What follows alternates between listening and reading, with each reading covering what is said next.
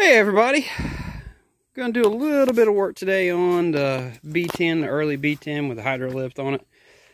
So this is what I did a couple weeks ago. You've seen the video on it. Starting to take it apart, but I want to kind of show y'all how easy it can be to switch the rear ends in it. I'm not doing the bevel gearbox on it. That's not even a lot much more work.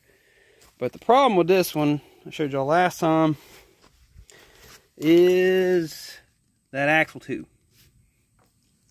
It is really, really toast. Toasting some half. I know I've heard other people say that's notorious for these. I have literally never broken one of these, and I've got, what, 10 of these tractors? So, I don't know. I guess uh, there's somebody that can break anything in the world. But what I'm going to do here is I'm going to show you how easy it can be to do it. I got the replacement rear end out of a parts tractor.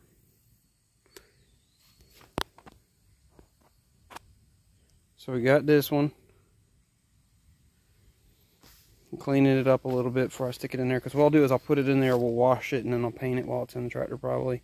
And then I'll sand and paint the rest of the tractor too. Take it apart and do it. But the biggest thing is first I want to make sure everything's all right. We also got all the stuff now to fix the high-low. I got all the pieces for it. Thank goodness. So what I'm going to do here, I've already got the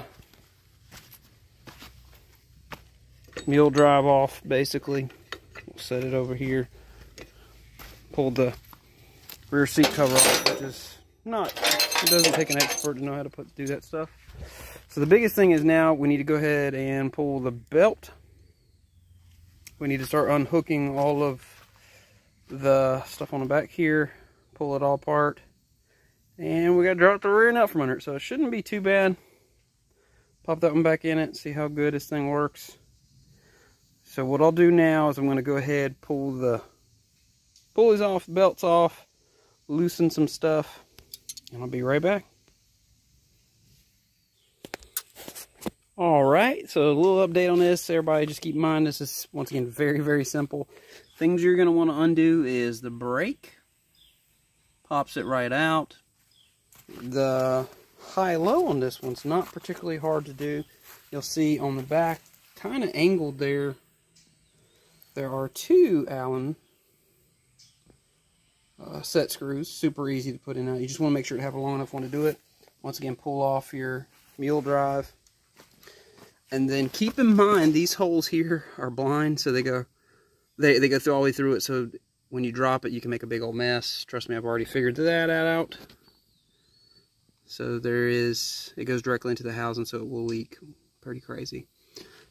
Want to make sure to unhook your gear shift, unhook the lift if it has it. And then once again, we are one bolt here from dropping the whole rear end, popping that one in it. All right, might need two hands on this hold on and pop it out. All right, now, so got some of that together.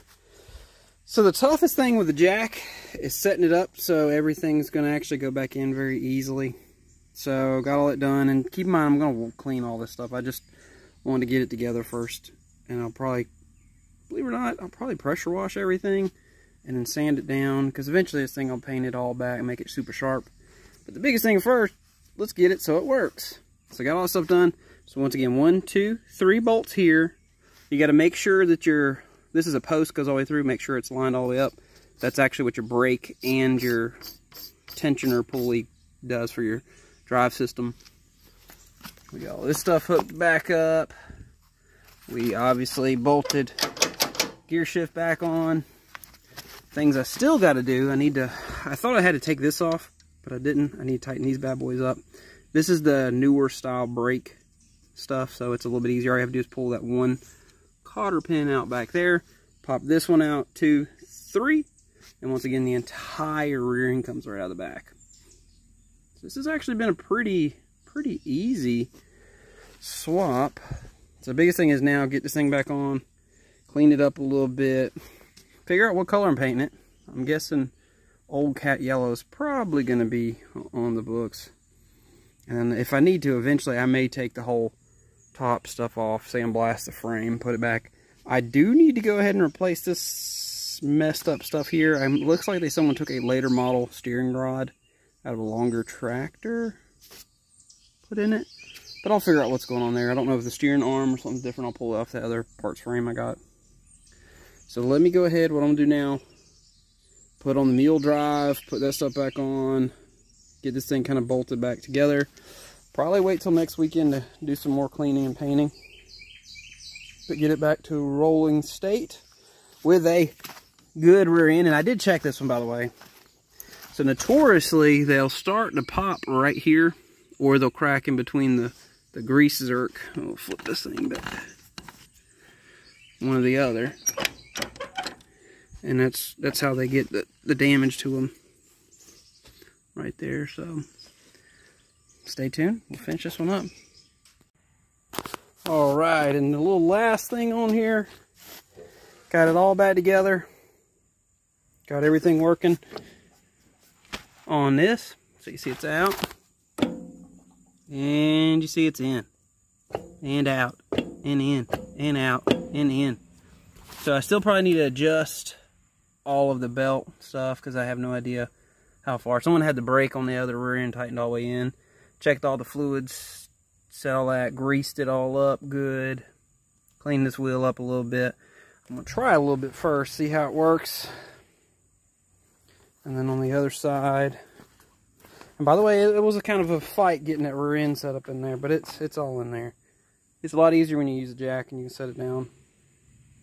So we hook all the mule drive stuff back on it once again. It still needs pressure washed, cleaned up.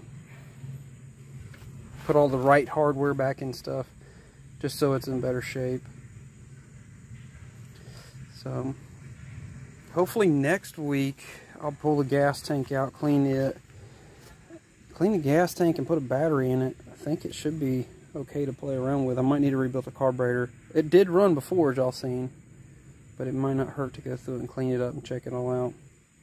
In total time, it probably took about two and a half hours to get it all done, bolted up. By the time you take the wheels off, I did a lot of cleaning and stuff too. You wouldn't have to. If you just want to get it in and out, you probably get it in an hour and a half, probably if you really need to. Hour and a half, two hours took it all up. But I will continue to do more with this little thing. I have never had one that had the high-low, so I'm going to check it out, see what it's like. I'll let y'all know. See if that thing's any good. The fingers, or the dowels that actually go in here, they have a little bit of play in them. And the back one, so eventually I'll have to get somebody to make me some of those probably. But then I also have a couple other pieces. There's another whole almost a unit everything but the actual thing inside of it. And I greased everything up too, by the way. You do have to pull that little 7 16 bolt out, put in a grease zerk, greased it up. The planetary gear's in it, so it'll work good. Once again, my goal is just to keep stuff nice and make it last longer, so. Alrighty, thank you for watching.